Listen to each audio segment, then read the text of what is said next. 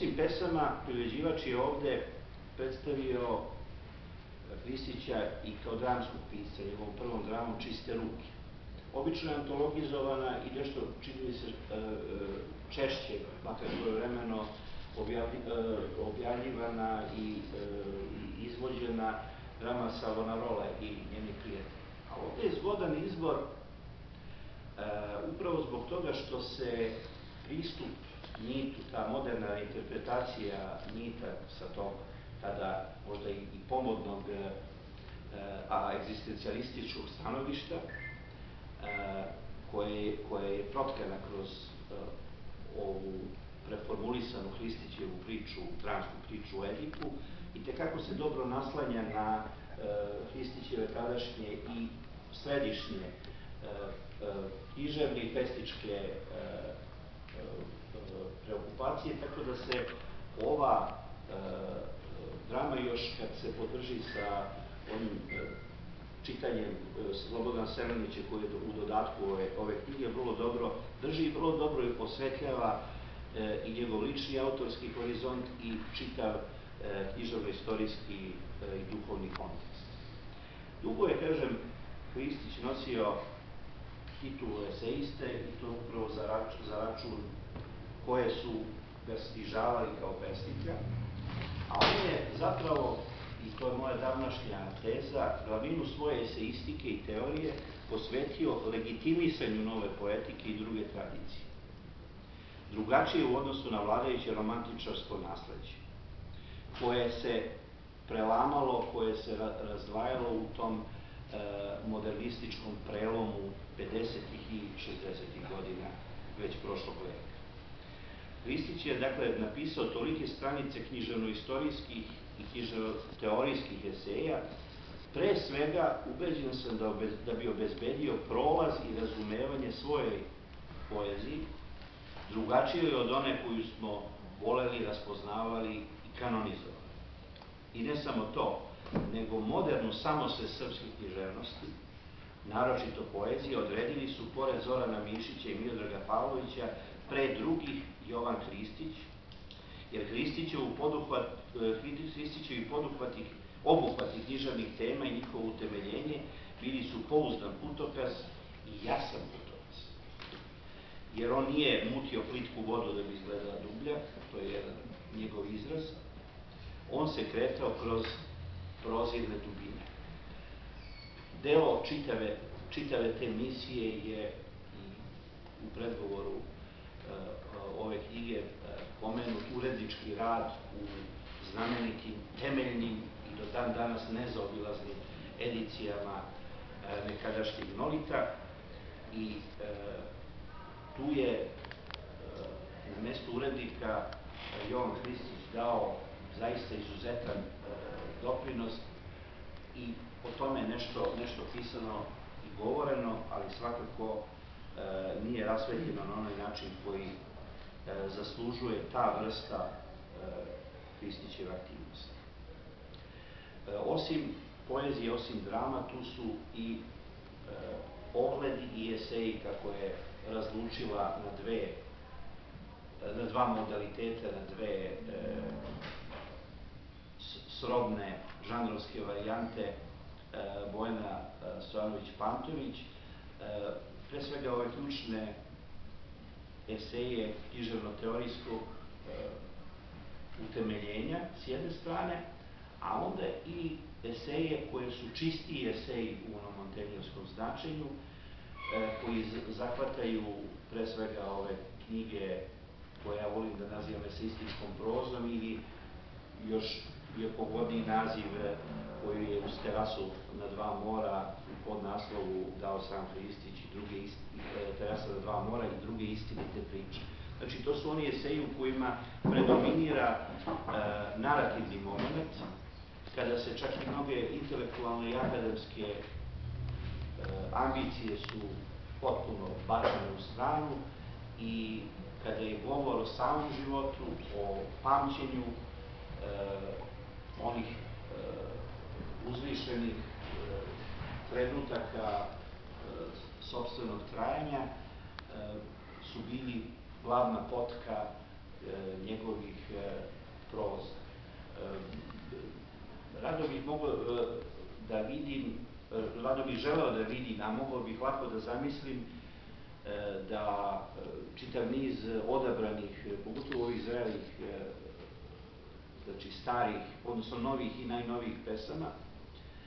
Jovana Hristića, gde sumira to svoje iskustvo, ironijsko se, ironijski se otklanja prema tom napamet naučenom iskustvu mladih godina, prema toj erudiciji od koje sve više bežao, a koja mu jednostavno bila, bila dana, izborena, prosto bila je deo njega. Mogla bi ta poezija, dakle, da se e, stavi pored e, mnogih od ovih e, eseističkih proza, kao neka Kristićeva varijanta Itake i komentara. To bi bilo zaista zanimljivo i prirediti i videti šta iz tog spoja može proisteći. Se čitaju sa uživanjima do užitka čitanja, E, Jovan Hristić je zaista najneposrednije e, držao i ostavio im i, i nama, njegovim čitaocima, e,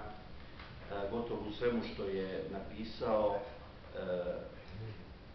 taj isti, taj isti doživljaj. Pesme i eseji pisani 80. godina, znači ovi koji su bliže ovaj, našem vremenu, Dakle, označavaju pomeranje težišta sa kulture na domen intime, posredovanih i svojevitih saznanja na neposredne osete i osjećanja, da bi se taj element, da ta posredništvo kulturnog iskustva potpuno sklonilo u stranu e, zarad najefemernijih e, momenta e, ličnog života koji je prošao, tog života načinjenog od sitnice. I da zaista ne bi bio preopširan, reći ću na kraju samo to da Ristić, koji je duhovno proistekao iz svoga veka, podržan znanjima mnogo starijim, uspeo da svoje epoku nadraste. I sumnjam da će e, njegovo književno iskustvo e, u recepciji nadolazećih književnih naraštaja zastarevati pogotovo ono što je najreprezentativnije od njegovog iskustva. Ostvario u tom pogledu neobičan pesnički podvig, tu mudru meru i ravnotežu, uspeo je da piše pesmu u prisnom doslovku sa elementarnim stvarima sveta, okružen zbrkanim svetom, površnim i nerazgovetnim idejama i među tim nerazgovetnim idejama kristalizovao je najrazložnije i najdublje uvide koje E, književna misao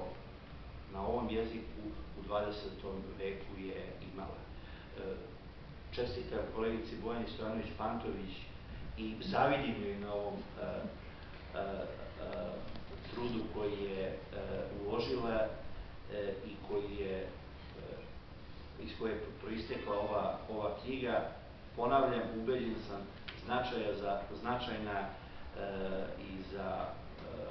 one čitaoce koji pamte i, i ranije izdanje i ranije, ranije, sumiranja e, Hristićeve književnosti, ali pogotovo za one koji e, dolaze i koji treba u ovom e, prostoru da se orijentišu, a dobar orijentir e, u, svakom trenutku je svakako književnost e, Jovana Hristića.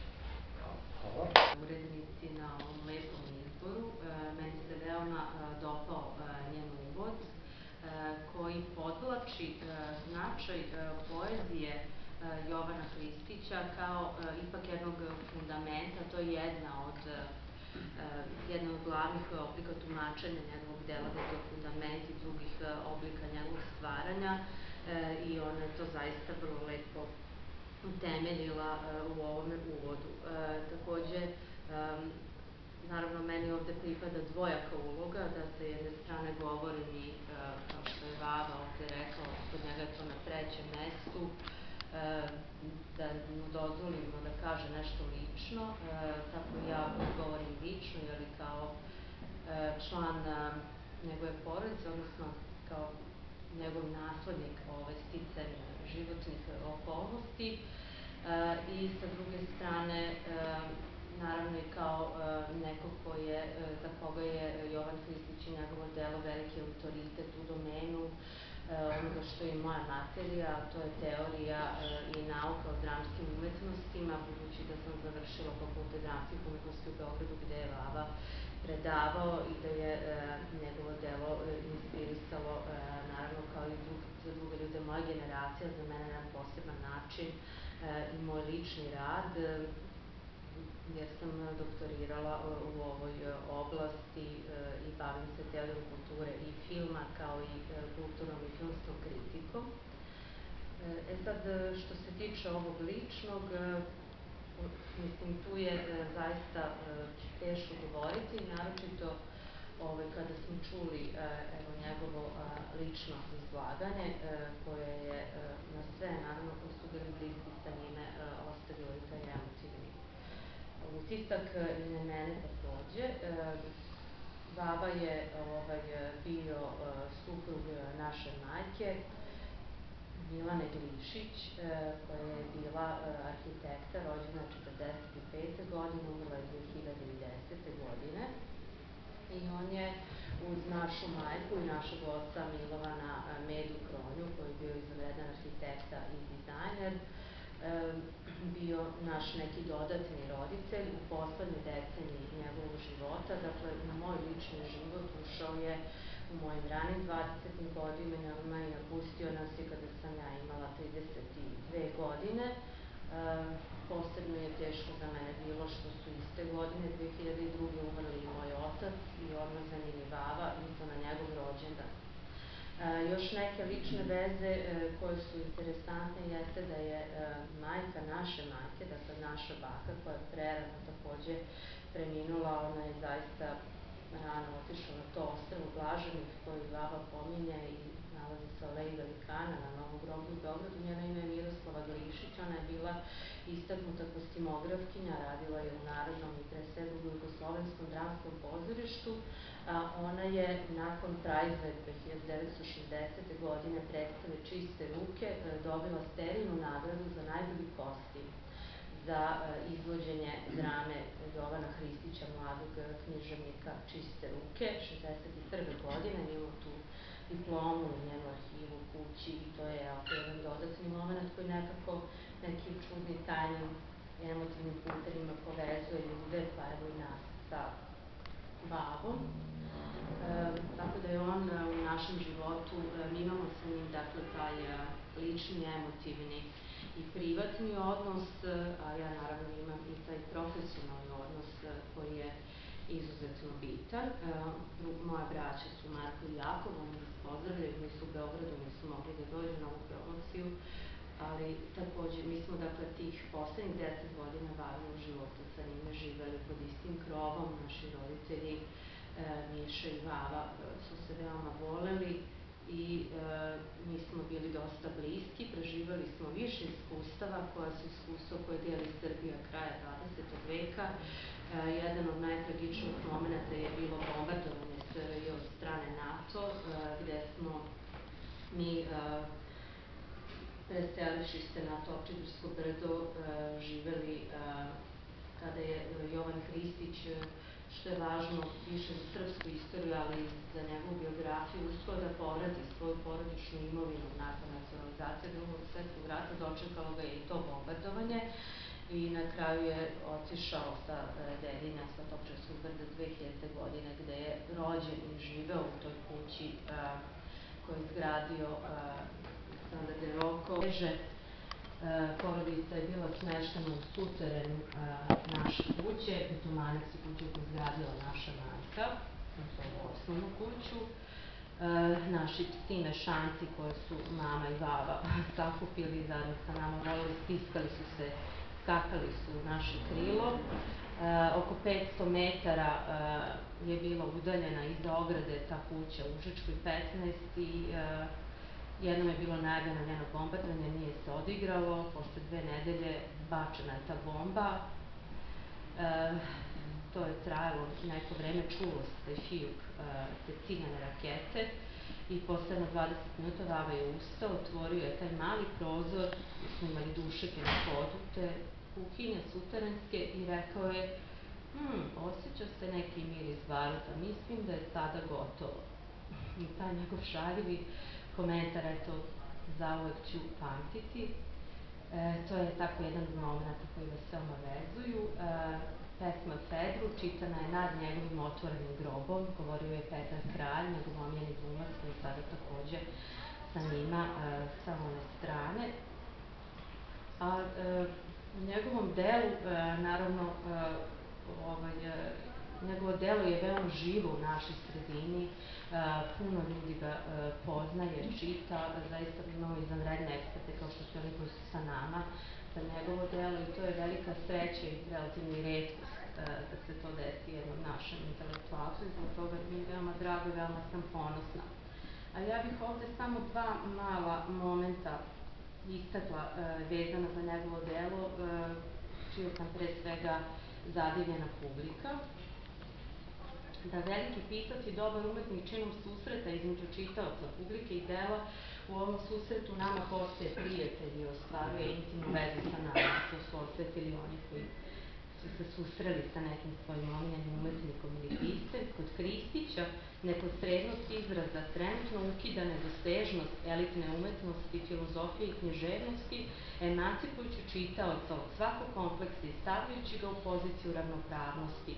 U tom smislu je njegovo delo izvanredno pedagoško i oslobađajuće, te obrazovno i vaspitno delo na čitaoca, ne samo mlade, već i zrele dobi, ohrabrujući ga i razvijajući njegovu ličnost. Ovo dugujemo etičnosti i skromnosti našeg fascinantno stručnog i izrazito plemenitog izlagača. Kada je bila jedna prilika da se govori o Vavi, pozvali su me da ja napišem neki tekst o njemu, ja sam tada sređivala njegovu ličnu biblioteku koju smo nas troje nasledili od naše majke i napisala sam jedan rad pred bibliotekom Jovana Kristića kome sam pokušala više kao kulturolog, svakako ne kao stručan za književnost, da ukažem na neka, neku poziciju njegovu s obzirom na strukturu te e, biblioteke i pročitat ću samo jedan mali deo uh, iz ovog uh, svoga rada uh, koji nam govori još nešto o Vavi. Posebno zadivljuje Kristićeva predanost po zvanju srpskog jugoslovenskog intelektualca, čija je dužnost da upoznaje, kategorizuje, prikuplja i proučava nacionalnu književnu baštinu.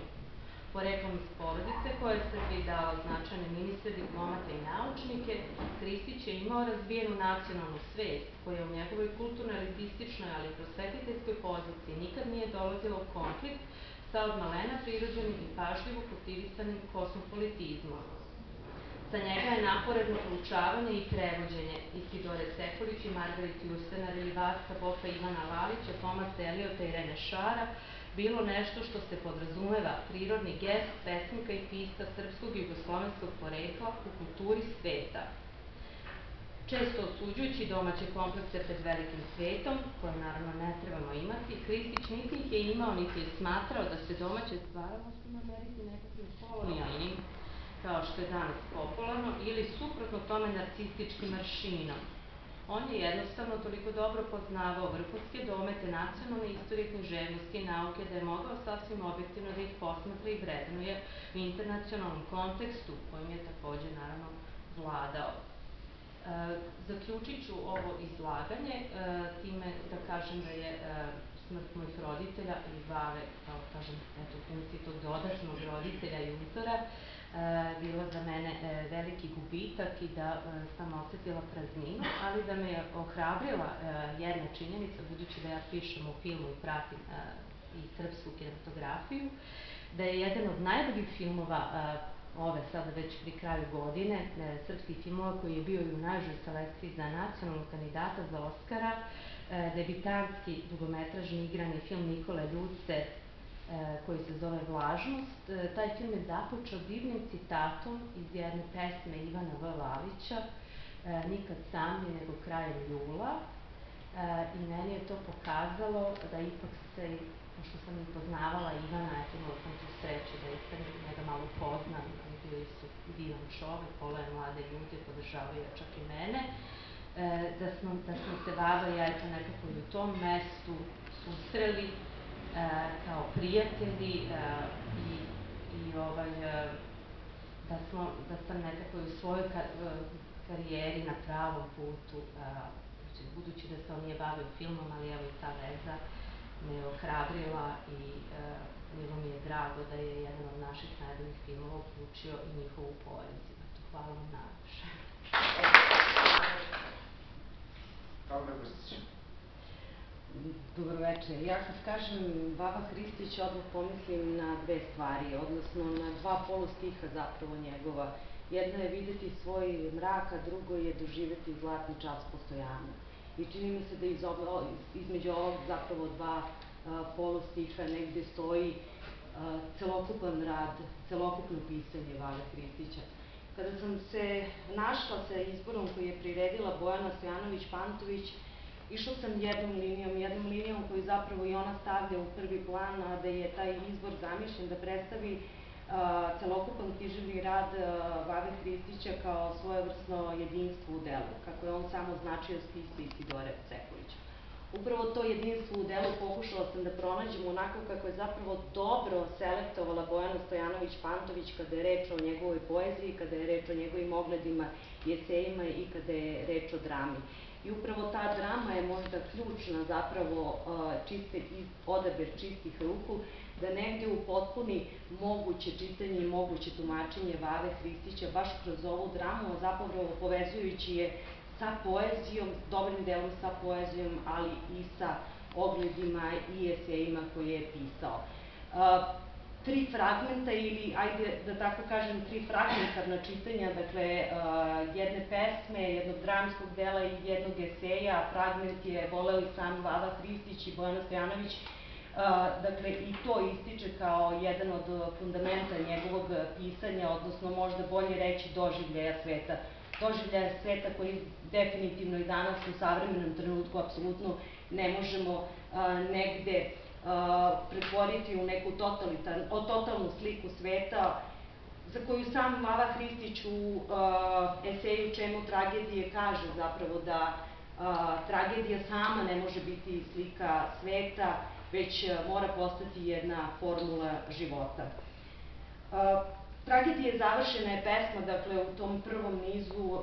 iz koje koja i počinje istim stihom, tragedija je završena, oslepljeni Edip odlazi u svoj mrak, u naš mrak. Čiste ruke drama u tri čina završava se upravo mrakom, odnosno na završetku i on kaže mogu li sada da nastavim svoju pesmu Tiresija, šta nam je još ostalo? Tiresija kaže, ostalo nam je da živimo, mrak. Ne spušta se zavesa, nego zapravo posle toga nastaje mrak. E upravo kroz taj mrak, dakle, progovara i poezija, Vade Hristića na, jednu, na jednom mestu i govori nam zapravo i, i čitava drama u kojoj čini mi se kao da možemo a, čitati kroz likove, bez obzira dakle, što počinje od mita o Edipu i zapravo ono što je i a, Dragan Hamović govorio o toj resemantizaciji mita, dakle, pogotovo u ovoj drami. I koliko god se ova drama negde vezala, vezivala pre svega za egzistencijalizam, dakle kao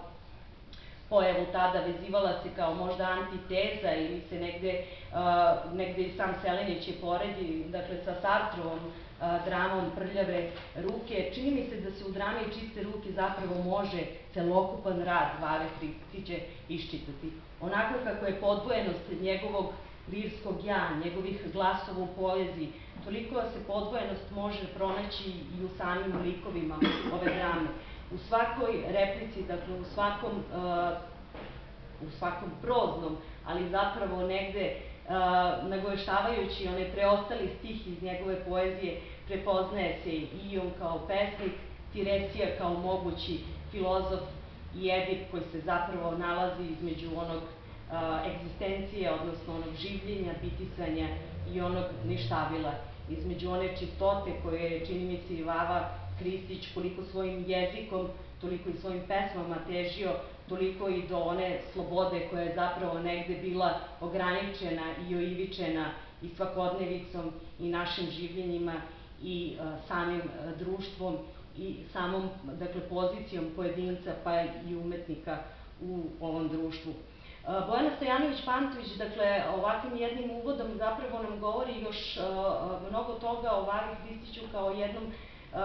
svestranom, svestranom umetniku, ali ono što mi posebno uh, um, mi se sviđa, to što je dakle, pošla od nekih već proučavaoca njegovog dela koji stoje negde u vremenu kada je i sam stvarao, prateći jednu liniju zapravo jednu liniju kasnije njegove recepcije, koliko poezije, toliko i eseja i drame, a u poeziji samoj se negde oslanja na već ustanovljeno neko tipološke, tipološke četiri osnovna tipa poetskog modelovanja i čini mi se da je izbor poezije tako i pravljen. Dakle, negde po tim tipološkim, odnosno po tim tipovima poetskog modelovanja koje negde Negrišorac uspostavio, ali uvodeći još jedan ugao posmatranja, odnosno još jednu notu, a to je zapravo ono vreme koje je obeleženo postmodernizmom i ono vreme koje dolazi nakon Vare Hristića i ono vreme koje dolazi u pevanju svih onih zapravo pesnika koji su se negde i svesno i nesvesno oslanjali na, na Vavu Hristića. Da pomenem i da se vratim na ono o čemu sam govorila, o tom spoju, dakle, između uh, eseja, čemu tragedija, između poezije Vave Hristića i uh, drame Čiste ruke. Koliko u pojedinim delovima i replikama uh, govori o samoj poeziji, koliko pokušava da se odluči između stiha koje pripada tragediji i uzvišenom i prozi koja zapravo negde pripada svakodnevici i nekom novom vremenu, toliko Vava Hristić i prispitujući naravno i mit i odnos prema Edipu, čini mi se da Vava Hristić na jedan veoma tanan način govori o istoriji tragedije u ovoj samoj drami. Ne, nema direktnih citata, ali zapravo negde ćete moći da pronađete ukoliko čitate čemu tragedija, moći ćete da pročitate i da negde nasledite i naslad je naravno antike od Edipa do, od, pardon, Eshila do Euripida, pa do onog, dakle, Elizabetanskog pozorišta, a pre svega mislim na Šekspira koji se prepoznaje, možda se Magbet najviše prepoznaje u tim čistim rukama ili prljavim rukama, krvavim rukama, a zapravo s druge strane progovara i Hamlet. Biti ili ne biti je sada u potpuno novoj situaciji, u potpuno novom čitanju Vave Hristića, u tom nedelanju, u tom ostanku, u toj čistoti. Dobro večer svima, zahvaljujem što ste došli ovako velikom broju, zahvaljujem naravno Srpskom književnom društvu, društvu i lično Dejanu Simonoviću prilikom planiranja, da kažem i, i koncepcije ove književne večeri zajedno sa Ivanom Kronjom još negde u aprilu. A, naravno, Draganu Hanoviću, Tamari Krstić na ovim izvanrednim izlaganjima i evo, kao što vidite, a, već oni svi dali neka svoja nova tumačenja Jovana Kristića i jako poslednjih deseta godina, osobito njegove smrti, a, umnožavaju se te jedinice bibliografske, bilo usmene izlaganja, bilo izlaganja na uh, okruglim stolovima ili pak klasičnim naučnim simpozijumima o njegovom delu. Osobito mi je drago što je ovde uh, akcenat stavljen uh, i na uh, dramu Hristićevu. Ja ću ukratko samo reći kasnije nekoliko rečenica zašto sam se opredelila baš za čiste ruke, koja je to, kako Dragan reče, prva njegova drama i sad smo ove čuli ovih nekoliko izvanrednih biografskih i autobiografskih e, detalja povodom ove, ove e, drame Kristićeve. Savanarola, naravno, to je bila velika dilema da li da to uključim, ipak sam se odlučila za ovo i reću posle zbog čega. Naime, kad sam dobila ovaj posao i zadatak od glavnog urednika edicije Mira Vuksanovića, ja u jednom trenutku nisam bila sigurna da li to da prihvatim, htela sam nešto drugo da radim, jednostavno zato što znajući Hristića kao pesnika, jer mi smo se svi negde a, posle 90. godina okrenuli intenzivno čitanju njegove poezije, mi koji se osobito bavimo tumačenjem poezije i poeziju pišemo. A, a, dru, druge delove njegovog stvaralaštva, kao što je esej, naročito je li oblici moderne književnosti koje sam ja pamtila još kao studentkinja, do te mere cenim da sam svoj kurs koji predajem na Filozofskom fakultetu u Novom Sadu iz 20. veka upravo nazvala oblici moderne srpske književnosti 20. veka. Naravno, i sve ostalo što je Kristić radio, uključujući ogromnu njegovu prevodilačku delatnost, e, ispratila sam, ali onog momenta kad sam krenula da, da ovaj, tu građu jednu po jednu znači, knjigu nabavljam, naravno nešto imala veći kroz kuće, shvatila sam da je to jedan ogroman broj knjiga, da on ima, da, da je on budući urednik novitara samo jedan mali broj knjiga objavio tamo, da je uglavnom bio vezan za Maticu Srpsku, pa i za neke druge izdavače, poput književne zajednice Novog Sada, recimo Gradine, Niške u to vreme, naravno, vreme bivše Jugoslavije, zatim da je, recimo, profesor matematike i drugi esej objavio u Zagrebu, da su mnoge njegove knjige latinicom štampane i da je kasnije tek zapravo posle sabranih pesama koje on 96. uradio zajedno sa Lalićem, počela ta neka njegova, pa sad više ne i ona tiha slava kao ovaj, kod Bore Radovića, nego baš onako frenetična, jer su mnogi pesnici ajde da kažemo i moje generacije, ali nešto mlađe, recimo generacije Dragana Kamovića i još mlađi, se uh, inspirisali Hristićem i to veoma primili, da, otvoreno, i na Lalića, pa i na Babu, i na Boru Radovića i to smo videli sad u Kraljevu prilikom dodele Žičke krizaulje, kada recimo Živorad Nedeljković čita ovaj, svoje pesme, nekih su i posvećene pesama Hristiću, koliko zapravo tu ima ritma, melankolije, određenih situacija, rešenja i tako dalje i tako dalje. Međutim,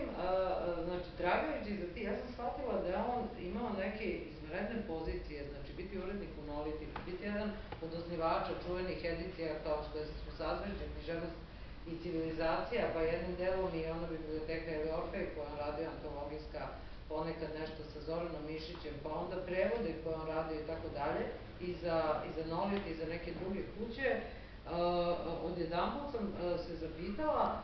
da on živi u današnjem vremenu, da recimo čovjek mlađih godina, srednjih godina, pa njemu bi sva vrata verovatno bila otvorena, ove, kako današnji izdavači mahom sa lakoćem svuda prolaze, jer svuda mogu sve da objave. Kod njega to očigledno nije bio slučaj. Znači, tu govorimo,